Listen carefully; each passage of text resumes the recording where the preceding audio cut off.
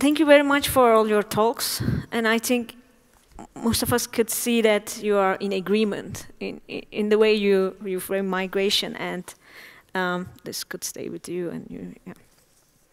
But what I would like to do now is like a short summary of what I have heard and maybe pose some connections. Later on, ask general questions to you that we haven't discussed yet, maybe.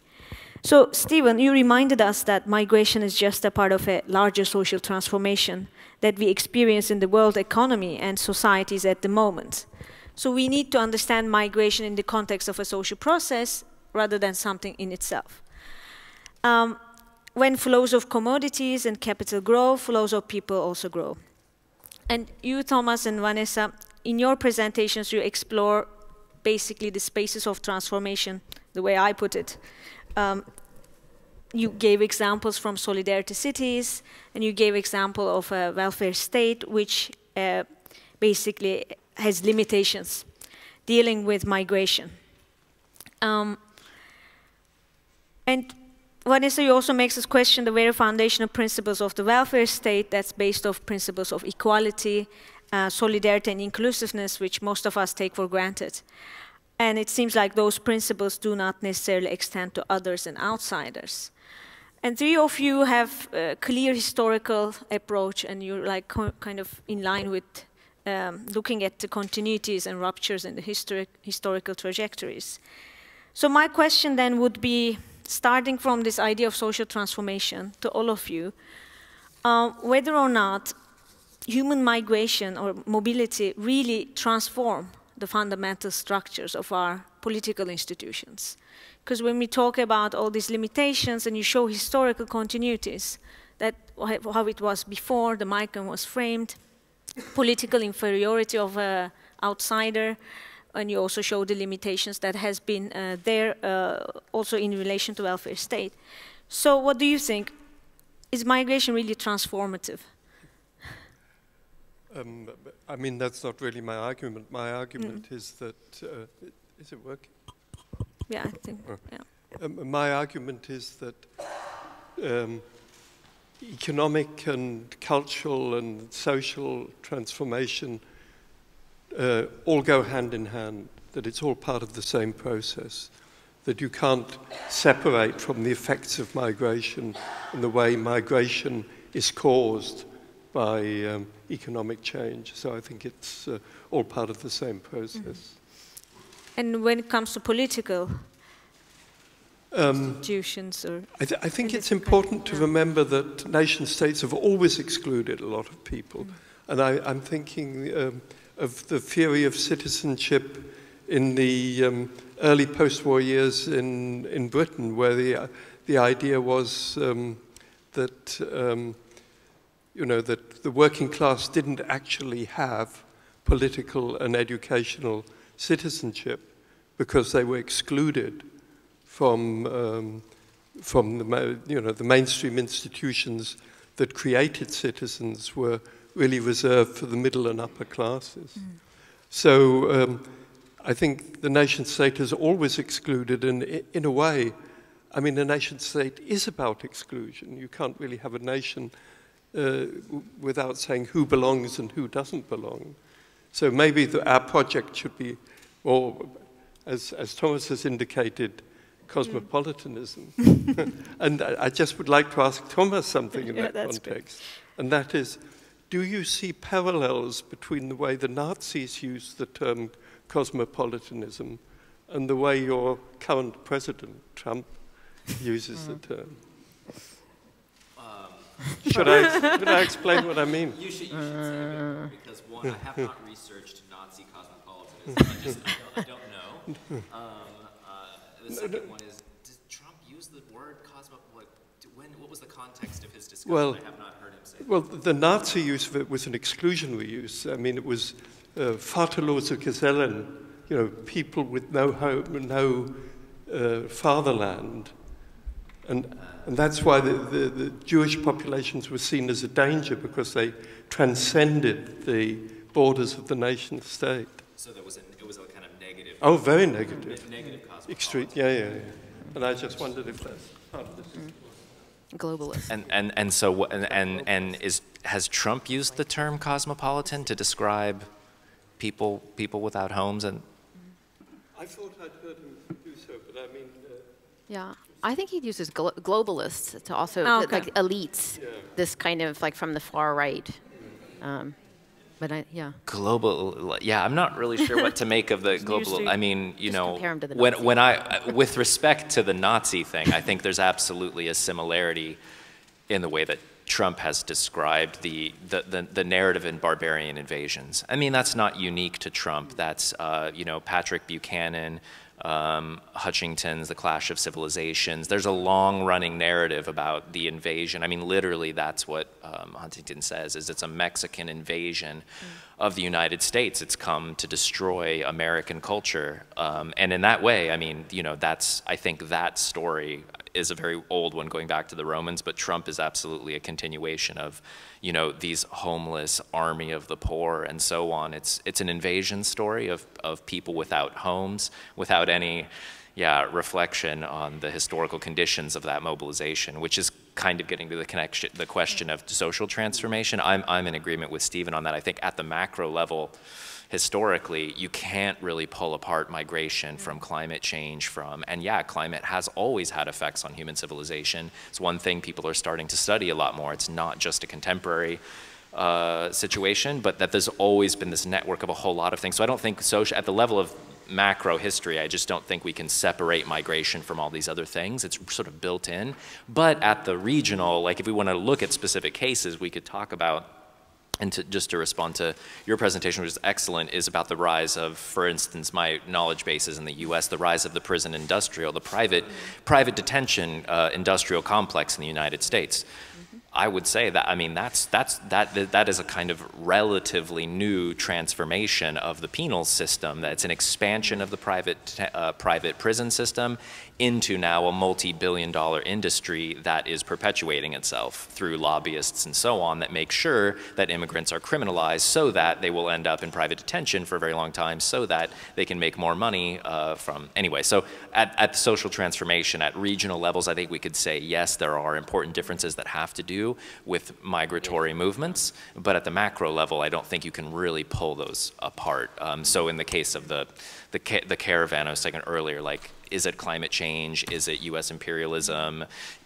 Kind of all of those things and a lot more. Is it political violence, poverty? Yes, yes, yes. It's all of those things we can't pull them apart. I just want to add, though, I, one of the things I'm investigating in this new book has to do with um, a possible paradigm shift in the legal order, which I think is very concerning because I think we've seen a backlash against human rights. So we've had this period of the growth of human rights protections, the creation of the European Court of Human Rights, um, the legitimation of human rights, and we've had a real pushback against that. And then when you actually look at the, I don't know if anyone's studying the, the law here, but if you actually look at decisions in the European Court of Human Rights, they're, they are, are, their decisions are in favor of the nation state, not for the individual. And we do not have a legal mechanism that recognizes an individual as a legal entity. And what that means, it cr- makes people incredibly vulnerable. So the point, you can move but not enter. Um, the only way you can seek legal protection is through a domestic and you can't access any kind of um, supranational directly. So the legal precarity of people who are vulnerable um, is very serious, and I think that there, that may be one, one of these more macro or structural changes, um, and a kind of cultural pushback against the idea that human rights are valuable and legitimate. And I find, and I, I, I I am concerned about that because it's so easy for a country like Sweden to deny human rights of other people. Okay. And you, I also realized you mentioned uh, instead of refugee crisis, you said solidarity crisis. And a couple of yours, you also mentioned about the solidarity cities, and they changed their name from sanctuary to solidarity, which seemed to be less harmful in the context, I guess. Um, Just more ambitious. it's more ambitious. Yeah. And how do you conceptualize solidarity? Uh, well, Or is this is this kind of the words that is borrowed Yeah. from the social movements, maybe? I think, well, I think it does come from activism, and I think there were active um, academics in Sweden who started to really use this, uh, and activists to use this term rather than to always to reify this idea that it's a refugee crisis, because that puts the crisis on the people who are seeking Refugee. movement when it's really the crisis of this society. And so I think the solidarity crisis, it's a, it's a um, conceptual and rhetorical statement to re remove that stigma of the crisis from, from the people who are seeking movement, because it's how the societies are responding. And I think if we think, I think there's, human rights are not the, uh, are not the kind of solution. There's a lot of problems with that. But when we think about solidarity, we can think about that dimension, which is also you know, rec recognizing the humanness of other mm. people um, and being in solidarity with that. And about the solidarity cities, would you have the similar experience? Because in your presentation, what I realized that you also talk about the city of Toronto, let's say, and solidarity city is not the same thing. So the solidarity movements are something that is completely uh, bottom up, but not really the municipality or so on.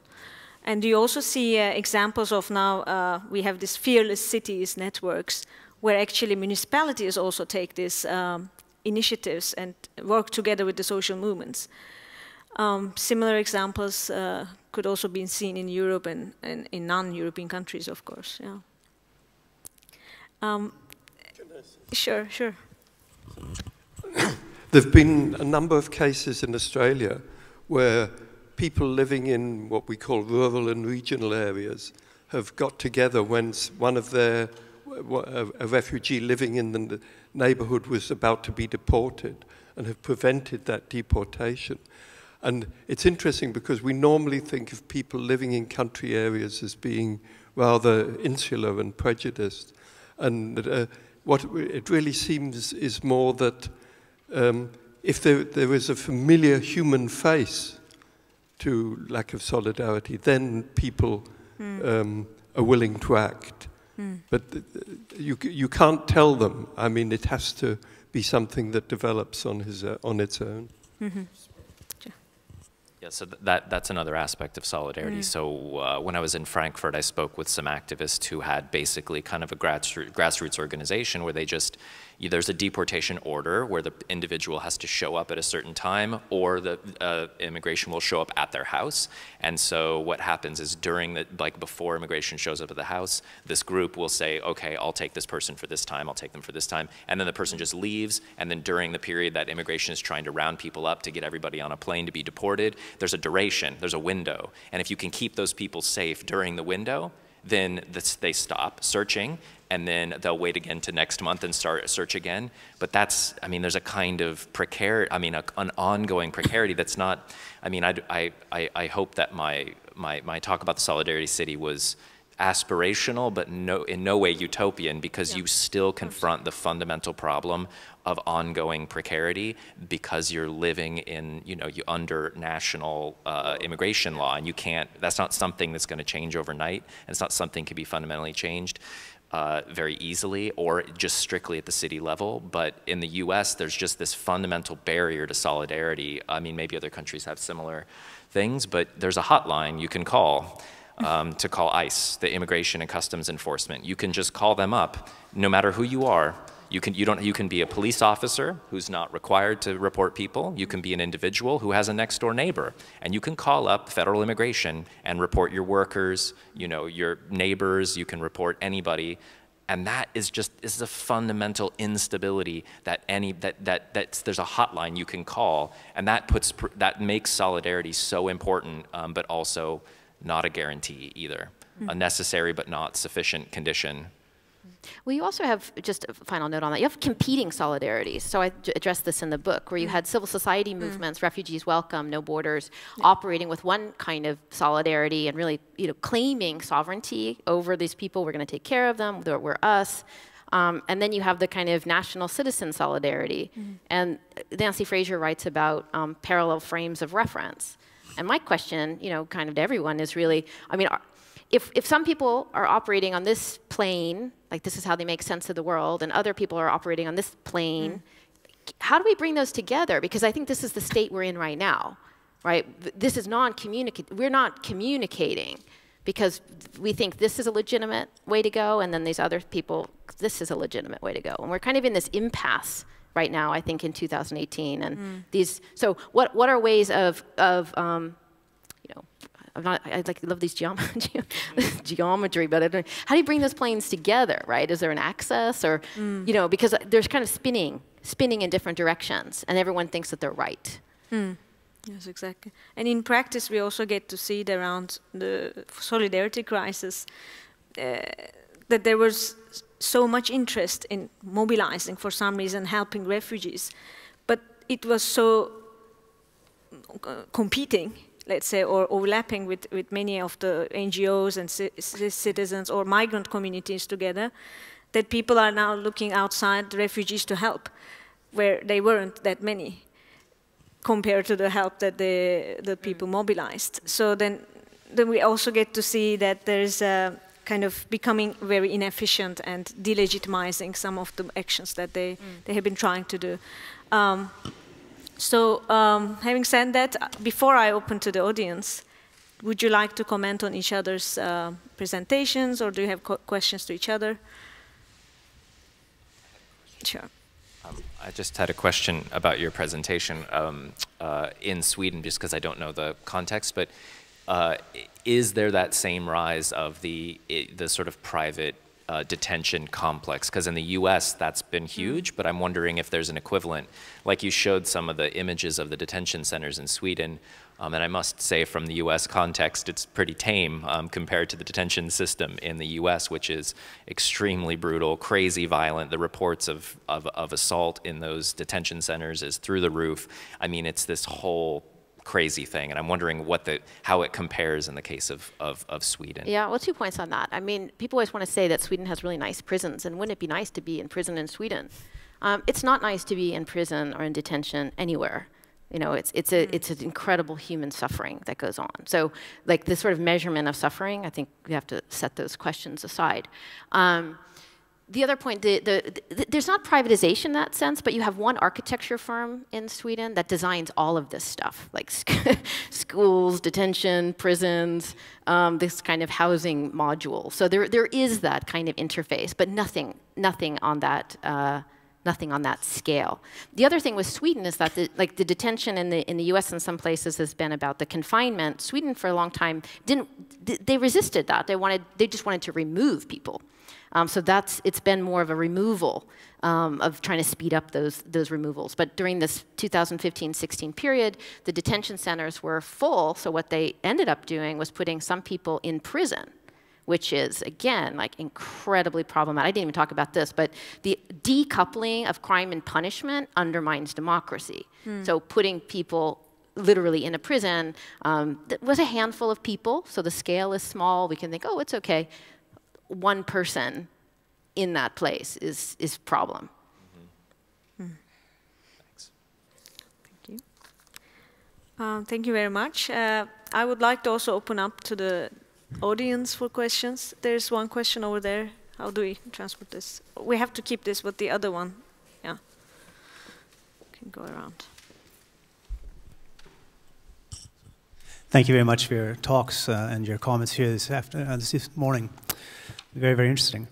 Uh, my first question, uh, I've got two questions, and not that long. The first one, I think, is directly to what you're talking about this morning, Stephen. I was going to ask you if you could uh, expand upon one of the points you made in your talk. You're talking about the 2008 economic crisis and how it has effects on uh, both neoliberalism, neoliberalism and its linkage to migration. I thought it was rather interesting to hear, uh, but I was wondering if you could just expand a little bit more upon your thinking there and uh, how you look at that. That's the one question. The other question, I was thinking, Vanessa, you were talking about these different planes. Um, and I think it would be interesting to talk a little bit about silence, mm. uh, cultural silence, and how that's maintained. I think even we could talk about strategic silence and how that's used. I'm struck by the fact that as I speak to local politicians and uh, the civil servants who are employed to put their politics into work. Uh, that there are a lot of people who refuse to speak about migration or the migrant. Um, it's a dirty word, uh, and it's a word which only the Swedish Democrats will talk about. And there's a fear that if we start to talk about migration, that we'll just be feeding into this sort of Swedish democratic uh, mentality. But if there's no place for us to speak, yeah. Uh, then these are people who have no voices either. And I think that's something which is also worth considering. If we're talking about activism, how do we create forums in which people can actually have dialogues and maybe disagree, but at least communicate? Um, so maybe that's something which you would also like to link into from your work in Toronto. But thank you. um, just to expand a little on this issue of 2008, which I, I, really do see as a turning point in the way the global economy, the global neoliberal economy, has been developing. But I mean, it's, it's a turning point which was, you know, beginning to emerge before. It's not a sudden thing. And wh what is extremely common now in developed countries is casual employment. People paid by the hour or not even guaranteed a certain number of hours. You know, what they call in, in Britain the zero hours contract. That, you know, you're not allowed to take other work. You have to stay available for Amazon or whoever is your employer, but they call you in when they want you. Um, the, the other thing, as I, I think I did mention, the, this gig economy that people are paid, you know, for doing a delivery, they're paid by the delivery, not, not uh, having a regular uh, work relationship with the company that employs them, or turning people into independent contractors. Um, you see that a lot in the transport industry. You know, people have been given big loans to buy these huge trucks, which are very expensive, and they have to drive an incredible number of hours to pay them back. And if they have an accident or the, the truck is damaged, it's them who has to pay and who are, isn't able to work until the, the thing is fixed. It, it doesn't harm the company that uses these so-called contractors. But the, I mean, there are lots of examples. I won't go on. Mm. Yeah, I'm going to, um, since I'm here, I'm just going to indulge uh, on this. I didn't show this other graph about silences and representation. So what's also at stake here is connecting, I think, to um, Thomas's concerns about democracy is the violation of the parity principle. So those whose these policies most affect don't have any say. And this is a um, graph of the Swedish parliament from, 2000, from Delmi, actually, the report on representation in the Swedish parliament, comparing native-born with foreign-born. And so you have a clear disparity. So if we have massive, and this was also the same finding in the 2018 election. You have massive disparity of the so-called, you know, troublesome neighborhoods, representatives from those neighborhoods in decision-making power. So it's one thing to have civil society, social movements, absolutely vital. It's another to actually have Mm. political power inside the state where you rewrite the law. This would be very easy for Sweden could have done uh, created humanitarian visas and solved the problem of the bureaucratic backlog during the crisis. They could have done that. So I, I, just highlight this because we have a lack of representation of people who are affected by many of these policies in positions of power. Um, and you have this long, I think, that's why I talk about the ambivalence about dealing with difference. So uh, I didn't, I, maybe it's obvious because of my accent, but I came, came from the US. So it did strike me when I came to Sweden, I've been here for several years now, that people are very reluctant to talk about race, ethnicity.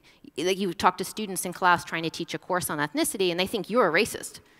Um, and they're really, they've grown up with this taboo, right, and a lack of language. So this when I talk about the fission and the fusion, right, this, should, this is a history to celebrate, right? There is some, there is some things to celebrate. It hasn't all been you know, kind of forms of exclusion and violence. But mm. the lack of a language and a discourse to talk about these in a, in a, in a productive way, mm. which, and then you have this, um, I think, a very poor public discourse on talking about these issues, which allow this vacuum. And then you have the Sweden Democrats and others who can fill that vacuum with the language. They're prepared and they're sophisticated. Mm. Just one quick comment on uh, what Vanessa is saying. in Australia, we have a very large number of members of parliament who are either children of immigrants or themselves immigrants. And it's not really noticeable that they vote anyway differently from, mm. from, from the others. I mean, it's more, you know, to maintain their position in the political party they're in, they have to conform. Yeah, yeah. No, it's not like as if there's some essentialist position that's going, going to be put forward, but we have serious lack of, of, of political representation and the way the parties decide. You as a person can't decide to run for office, right? You've got to be in the party, and the parties main control, can maintain control over who can be a candidate. And so there's just massive exclusion of people whose voices could be part of that. Not that they're going to have some authentic or legitimate voice, but they're not even part of the conversation. Mm. Just Thomas.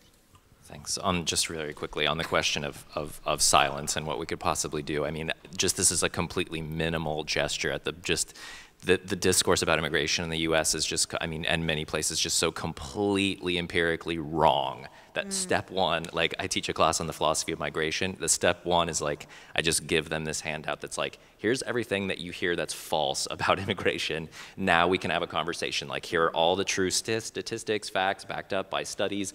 Academics and people who study this like know what's going on. And there's just crazy disjunct between what's actually happening and basically all of the bullshit lies that people hear on the media and our president is, you know, he's just, he's constantly saying things that are false and people believe it. Um, and so that, that's, that's like a really big, but sounds like a very simple barrier of just let know what's going on.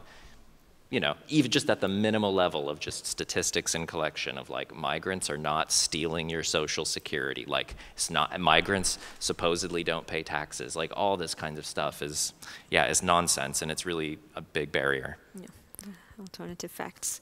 Uh, we have two questions and they will be the final questions before we move on to the lunch. So Yes. And then later, a microphone is there. Uh, thank you. uh, can I ask our U.S. colleagues about the midterm elections in the in the U.S., uh, where we have some interesting. Uh, uh, and my question is really: Do you think that what happened was partly, uh, obviously, a reaction, partly to sort of Trumpism, but to what extent migration played a role? we have some interesting new uh, congresswomen. We have a Somali refugee. Uh, we have a Palestinian woman. We have um, um, Alexandra something uh, from Puerto Rico. But, but also on the state level, wh where there seems to be an even sort of stronger, um, I don't know if one should call it a backlash, but, but a reaction. Mm. To, to, what extent do you think, because it's difficult at this stage to sort of analyze this, this uh, but what do you think uh, about did migration play a role in, in the midterm elections?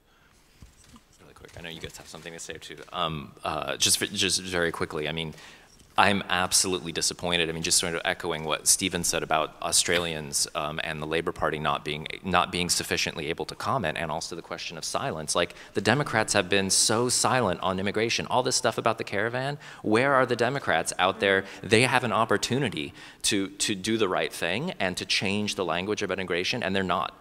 They're totally silent because they believe, and I, I, I really hope that that's not true, but that a sizable portion of the US is just racist and xenophobic and anti-immigrant, and so they don't want to rock that boat. They're still committed to a kind of immigration policy that's not mm-hmm. really radically different than the Republicans. And the fact that they haven't come out and done anything or said anything against this caravan is, is in my opinion, just condemns the Democrats. So I don't think that in these midterm elections, immigration really played a significant role. I think Trump hoped that it would.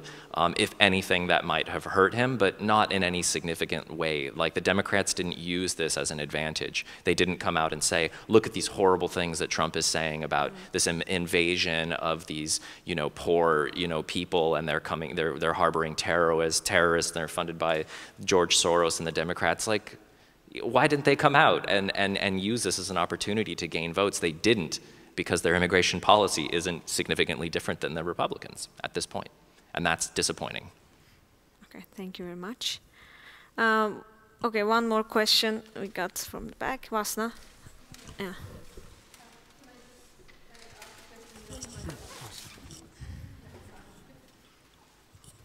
Thank you very much for your talks. So as someone who's not a migration scholar, you've talked about both labor migration and asylum seekers and refugees. And I just want to understand a little bit better, is there a substantive difference in the experience of immigration that you see between these two groups?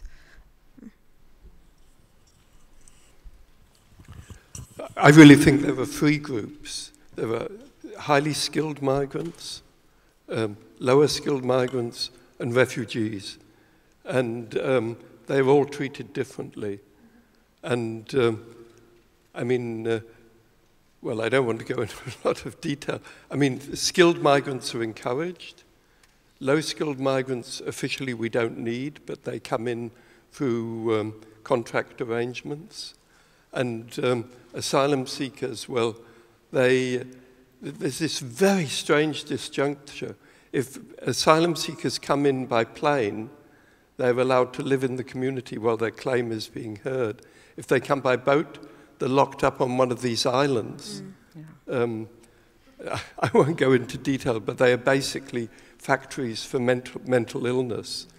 And it's, it's interesting that um, the Supreme Court of Papua New Guinea has said these things are illegal and they've forced them to close the one okay. on Manus Island. Think of Australia being lectured in human rights by PNG. I mean, you, would think that would be a huge shock, mm-hmm. but it hasn't been. I'll just, I think Betty's, Betsy's going to talk later about climate refugees. We're probably going to come back, back to that. But I want to just highlight why I think classification and categorization, this administrative power, is so powerful. Because what happens in Sweden, right? So you've had family reunification, labor migration, and then you know uh, refugees. These classifications are really problematic because people have intersectionalities. And then the idea, what's, I think what's problematic in Sweden is the idea that the refugee is the legitimate refugee, I mean the migrant. But then they get boxed in that they're somehow not considered a labor migrant. That, oh, there's so many problems of integrating into the labor market. Oh, you know, and so they, they kind of get stuck in that box. And then all sorts of state apparatus is oriented around the clients around the services, rather than seeing them as active contributing. And I think there's one statistic, you know, many of the Syrians that came into the EU were some of the most highly educated refugees that we had had. Um, but that's, that's not put up first, right? It's that they're a, a problem and a drain. So the, all the categories um, are incredibly problematic. And I think it's, we'll even hear more about it later, about the, the, the classifications. Okay. Would you like to add something? I just agree. Mm. Okay, uh, good, great. Uh, we have more questions I can see, but we can leave those to the next panel in the afternoon. Uh, lunch will be served outside, so let's get uh, an applause to three of you for, for all the morning. And thank you for your questions. Yes.